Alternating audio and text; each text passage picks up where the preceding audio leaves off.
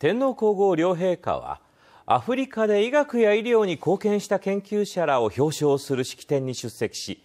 晩餐会では英語とフランス語で乾杯の挨拶をされました。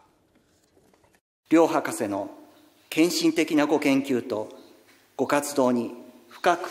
敬意を表します。To you all, a votre santé? 両陛下は昨日の夜東京港区で行われた第3回野口英世アフリカ賞の授賞式と記念晩餐会に出席されました。